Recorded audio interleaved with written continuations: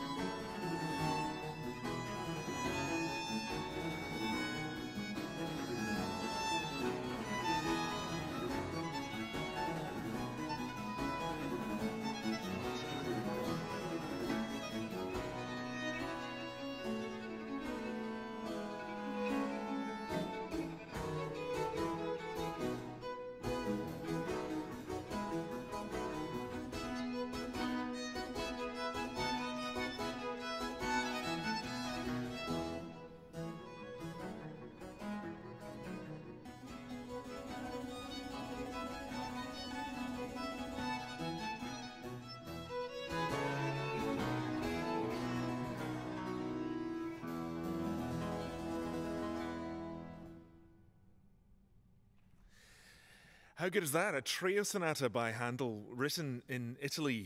Um, it's in the key of F, and you had it performed by members of Pinchgut Opera. And it's a good time to introduce the band, as they say in jazz. Um, Erin Helyard, um, they're performing on two instruments at the same time. I'll be asking about all that later on. On violin, Matthew Greco and Rafael Font. Karina Schmitz on the viola, Anthea Cottee on the cello, and somebody being on the text line saying, What is that incredible, huge instrument? Being played by Simon Martyn-Ellis. It's a theorbo. Um, you can watch this afternoon's concert on the ABC Classic website and see the marvels of this theorbo. It's about two meters long, something like that, Simon? Yeah, okay. It's long. It's a long plucked instrument and sounds beautiful too. So, um, if you're listening on your radio and you're near a computer, it might be a good opportunity to switch over and check out abc.net.au slash classic where you can watch this concert.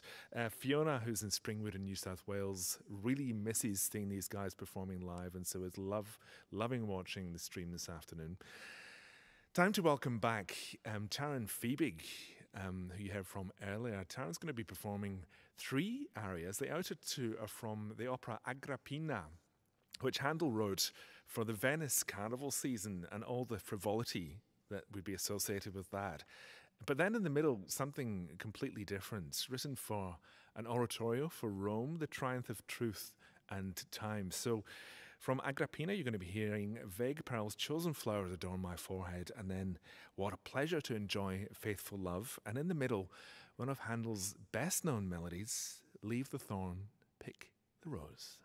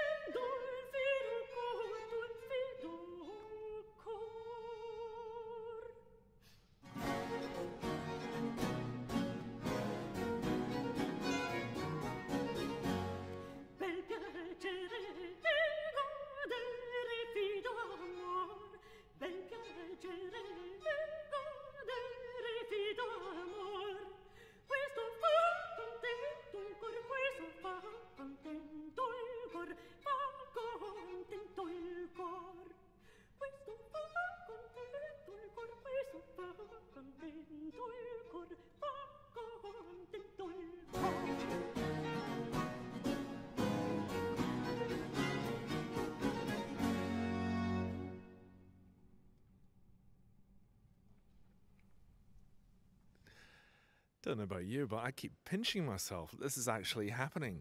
You're watching live and listening to live music here from the ABC studios in Sydney. And uh, what a performance by Erin Helyard and Pinchgut Opera with Taryn Fiebig of three arias. Uh, the first one and the third one from the opera Agrippina, Vague Pearls, Chosen Flowers Adorn My Forehead. And what a pleasure it is to enjoy Faithful Love. And in the middle, the gloriously, deservedly famous melody. Um, well, perhaps you know it from the opera Rinaldo, but there you heard it in the context of the oratorio The Triumph of Time and Truth.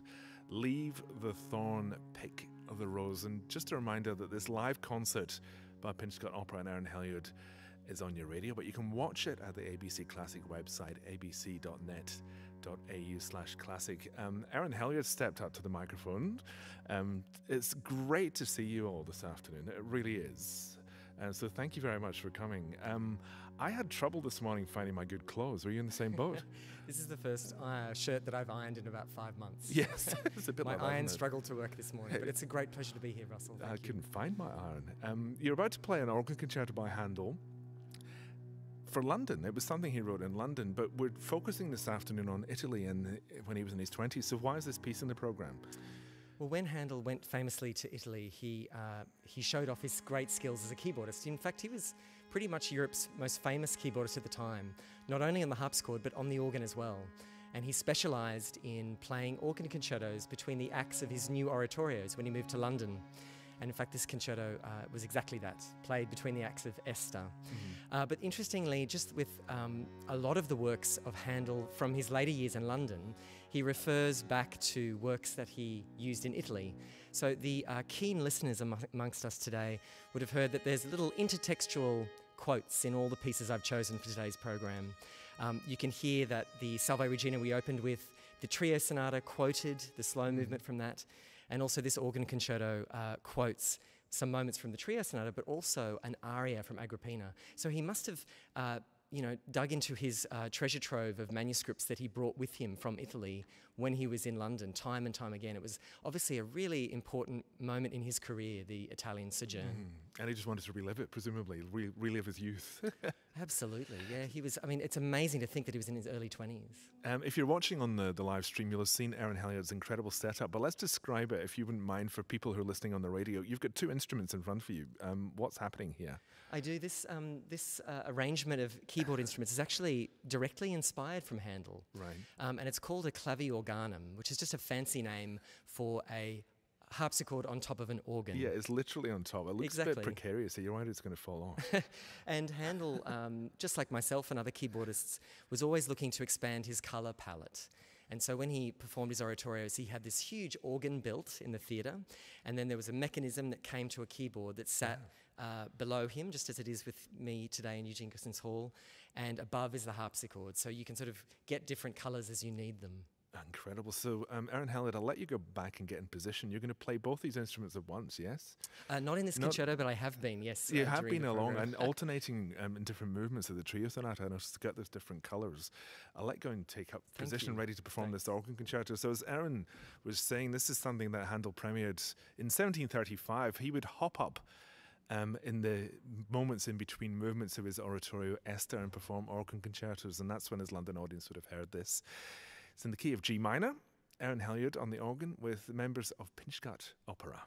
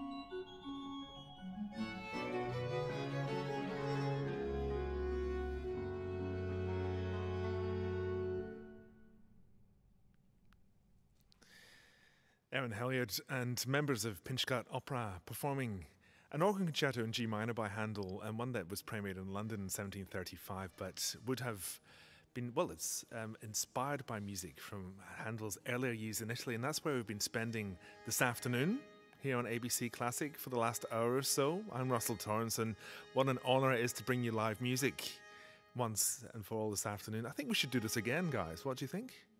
Yes, nods from members of Pinchgut Opera. That's good. Let's do it again soon.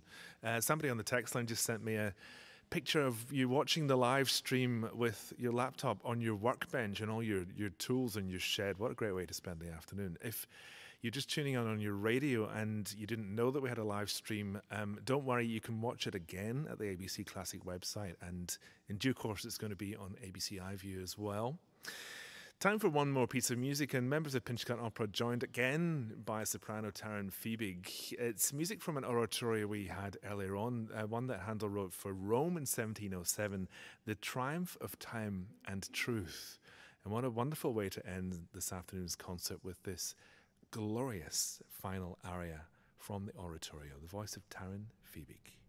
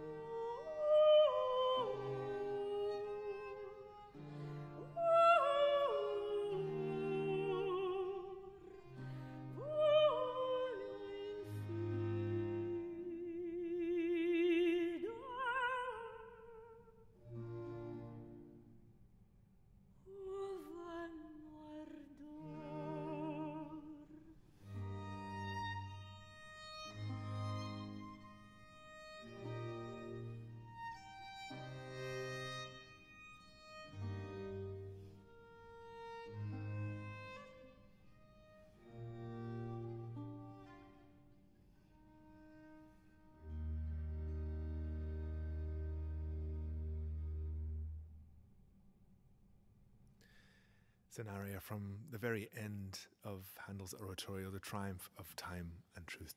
Tu del Ciel, you elected Minister of Heaven and the voice of Taryn Fiebig. What, what a wonderful afternoon it's been to present you this live music. Taryn Fiebig with members of Pinchgut Opera director Erin Helyard. Erin Helyard on his double keyboard, uh, Matthew Greco and Rafael Font on the violins, Karina Schmitz on the viola, Anthea Cottee on the cello, and Simon Martyn-Ellis on that incredible theorbo. Um, the music continues um, with Baroque Week continuing on ABC Classic this afternoon at 5 o'clock. Something to draw your attention to. Ray Chen will be um, co presenting Saturday Baroque with Alice Keath. That's from 5. But it just remains for me to say thanks to the ABC Live Music team for making this happen. And it's an absolute pleasure to have been with you this afternoon.